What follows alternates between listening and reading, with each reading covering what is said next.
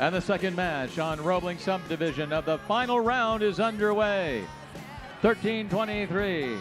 Madtown Robotics delivers one, now two cubes for the Red Alliance on the center scale. Both alliances have control of their switches. The Red Alliance in fine fashion with four cubes delivered in autonomous. Now the Red Alliance zips around 1323 trying to retain their control of the center scale but here come the children of the swamp their shot goes wild. Their partner 36-46 integra. Also their shot topples off. Both bots are fast. Another toss by the children. It doesn't quite make it. Integra gets one landed. Meanwhile the red alliance code orange brings one more cube to the center for the red alliance. Their alliance partner reaches up and places one for the Red Alliance as well. That was Madtown Robotics. Madtown runs back to the human player, getting another cube out of the hopper, bringing it back to the center scale. Code Orange doing the same. For the Blue Alliance, 3646 Integra, the bot from Istanbul, Turkey, delivers for the Blue Alliance, but yet not enough weight to topple that scale back in favor of the Blue.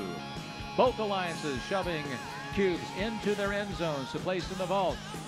We've got 68 seconds left to go in the second match of the final round here on Roebling Subdivision at the championship in Houston.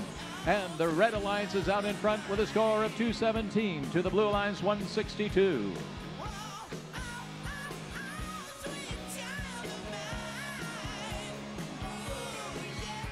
Here comes 1323 for the Red Alliance. They've just nullified the Blue Alliance switch.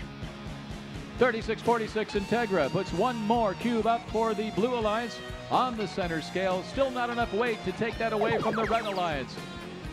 And the Red Alliance is using a boost, powering up their score, accelerating ahead. 26 seconds left to go. Code Orange has put down the outrigger. 1778 is positioned on it. Children of the Swamp have put out both of their outriggers. Code Orange and 1778 Chill Out are up on the tower. 12 seconds left to go. The Swamp drop 54-72. Two Blue Bots up. Five, four, three, two, one.